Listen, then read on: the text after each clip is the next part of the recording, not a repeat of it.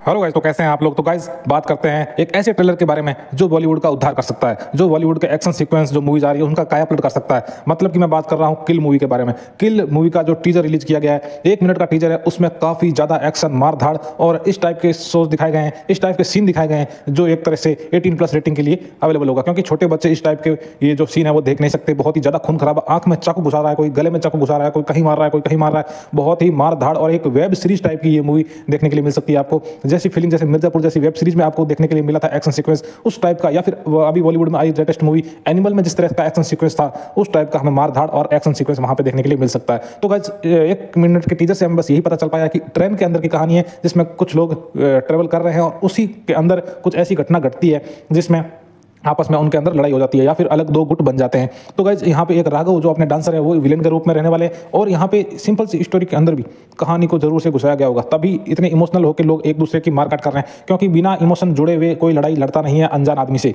तो यहाँ पे कुछ ना कुछ कहानी इस प्रकार की रही होगी, जिसमें आपस में दो गुट बनते हैं और विचारधाराओं की लड़ाई के साथ साथ ये एक्शन तक पहुँच जाता है। और क्या कहानी मोड़ लेगी, क्या ट्विस्ट लेगी, किसी को कुछ अंदाज़ा नहीं है। टीजर में कुछ भी रिवील नहीं किया है और मुझे एक्सपेक्टेशन है कि यहाँ पे ट्रेलर जब आएगा, उसमें भी कुछ रिवील नहीं कर पाएँगे, क्योंकि यहाँ पर इस कहानी का अंतिम मोड क्या होगा, कोई नहीं। आपको जब मूवी देखोगे तभी पता चल पाएगा। ये मुझे एक हॉलीवुड की मूवी देखी थी, उसकी कुछ याद दिलाता है, लेकिन नाम एग्जैक्ट मैं रिमाइंड नहीं कर पा रहा हूँ, लेकिन हॉलीवुड की भी एक ऐसी मूवी आई थी जिसमें ट्रेन के अंदर सारे लोग थे और उसी ट्रेन के अंदर पूरा ढाई घंटे की मूवी निकल गई थी और बहुत ही शानदार मूवी थी। तो उसी टाइप की उम्मीद हम यहाँ पे लगा सकते हैं, क्योंकि बॉलीवुड के अंदर इस टाइप का सिनेमा कभी हमें देखने के लिए मिला नहीं है। नया एक्टर है, लेकिन इसके एक्शन सीक्वेंस को देखते हुए काफ़ी दमदार लग रहा है। और देखते हैं ट्रेलर आने के बाद हम और ज़्यादा इसके बारे में रिवील कर पाएँगे कि क्या हम इससे और उम्मीदें लगा सकते हैं। और ये क्या बॉलीवुड के अंदर कुछ काया पलट कर सकता है। बॉलीवुड के जिस प्रकार से मारधाड़ वाली मूवीज़ एक्शन मूवीज़ आ रही है, सारी एक के बाद एक पिट जा रही है। बड़े मियाँ, छोटे मियाँ, कुछ भी आप लेके आ रहे हो बड़े बड़े एक्टर लेके आ रहे हो, बड़ा बजट लेके आ रहे हो, फिर भी फ्लॉप पर फ्लॉप मिल रही है।